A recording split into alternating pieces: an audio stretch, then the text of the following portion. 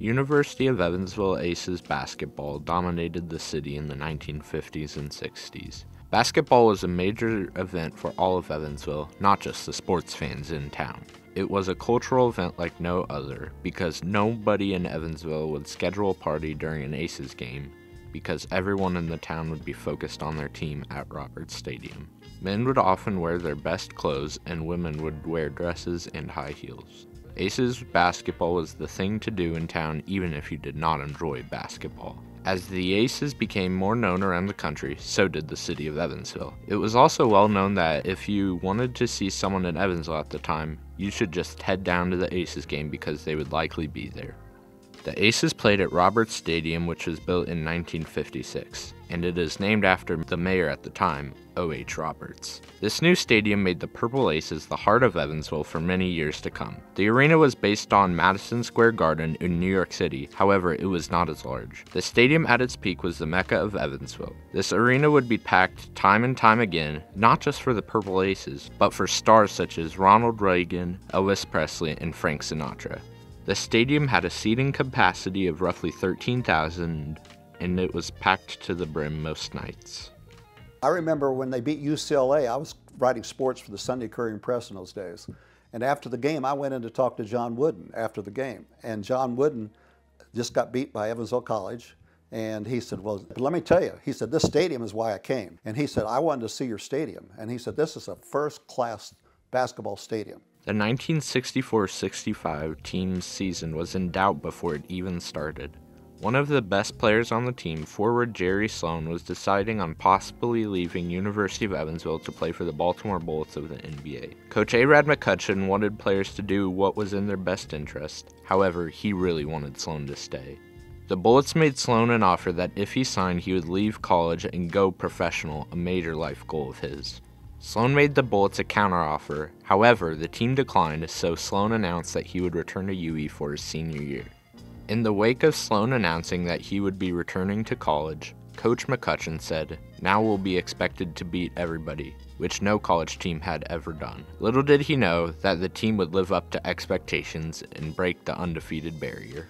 Going into the 1964 65 season, the Purple Aces had very high expectations. UE had won the championship in the previous season, and their two best players, Larry Humes and Jerry Sloan, were returning and they were better than ever. The team had impressive depth, even though not everyone got minutes due to Coach McCutchan keeping a small rotation where not many players would play. They opened the season ranked number one in the college division, now called Division II. The magical run that the Aces were about to go on had three main people Coach Arad McCutchan, forward Jerry Sloan, and forward Larry Humes, who were crucial to the success of the team. Coach McCutchan ended his career at his alma mater with 515 career wins over 31 years. He is the greatest Division II coach ever and the only Division II coach to be inducted into the National Basketball Hall of Fame. Arad would end his 31 year coaching career with 15 Indiana collegiate titles, 5 NCAA Division II titles, which was at the time only second to John Wooden. He was named the ICC Coach of the Year 12 times and National Coach of the Year twice. He was a brilliant, innovative coach, way ahead of his time, and he really um, he, he just knew how to inspire people, particularly his players, and of course the fans.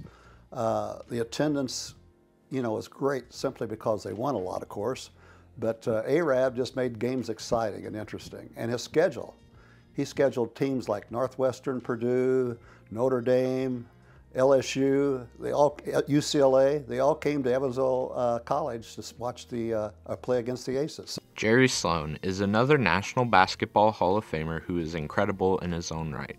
After a successful playing career at UE, he went on to play for the Chicago Bulls in the NBA and went on to later coach in the NBA, becoming one of the greatest coaches of all time. A real tough, hard-boned kid that played hard every game. You know, he might not be the leading scorer, but he would also be the, one of the top scorers, the top rebounder, the top assist leader, the best defensive player we had. He was just a great, great all-around player.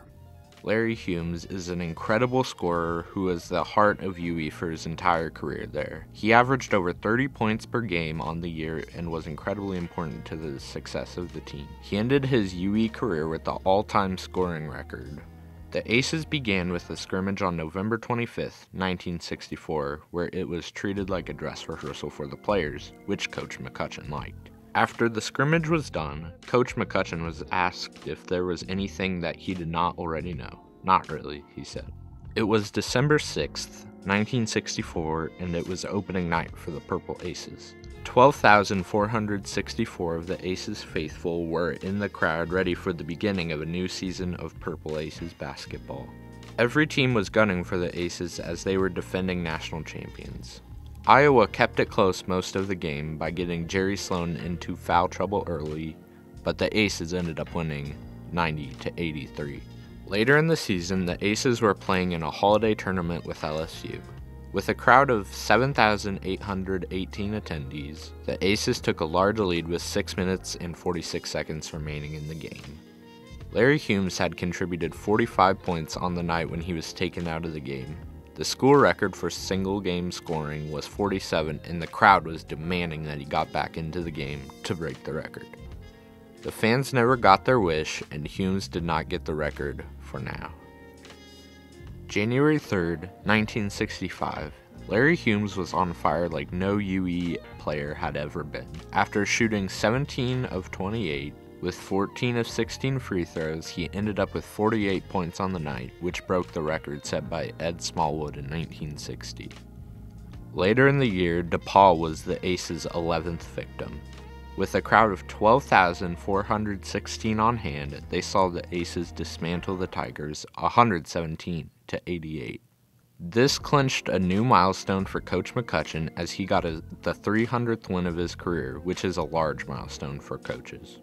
January 17, 1965, the Aces played St. Joseph's College. Larry Humes went for 30 points, giving him 600 on the year. He became the second player in Aces history to score more than 600 on the year. January 21, 1965, the Aces played SIU for only the second time on the year. Down 79 to 80 with only seconds remaining, the Aces needed a miracle to pull out the win. Playing against future NBA Hall of Famer Walt Frazier, the Aces were facing a situation like they haven't all year, losing with only seconds to play. However, the Aces managed to win on a last second layup from Larry Humes. It was the Aces' closest game of the year. March 11th, 1965. Jerry Sloan and Larry Humes were unanimous choices for the Little All American basketball team. Jerry Sloan and Larry Humes were also named first team All Indiana Collegiate Conference for the 1964 1965 season. March 13, 1965, the Aces did it. They broke the undefeated barrier which no college division basketball team had ever done before. This was achieved after they beat the Salukis 85 to 82 in overtime. Jerry Sloan and Larry Humes were phenomenal as usual with the dynamic duo giving UE 25 points and 25 rebounds and 32 points and 6 rebounds respectively. This represented a major milestone for UE as coach Arad McCutchan had just won his fourth college division national championship which put him only behind coach John Wooden at the time for the most national championships for any college basketball coach. Jerry Sloan, since he was a senior, was now done with his UE career. However, he had gone out on the best possible way with a championship. Larry Humes had cemented his status as an all time UE great, and with one year left at UE, had a chance to go for a three-peat. The University of Evansville basketball team would go on to capture another college division title in 1971 before moving to Division 1 in 1977. While there have been many ups and downs throughout the decades, no single season will ever top the pure perfection the 64 65 Aces achieved.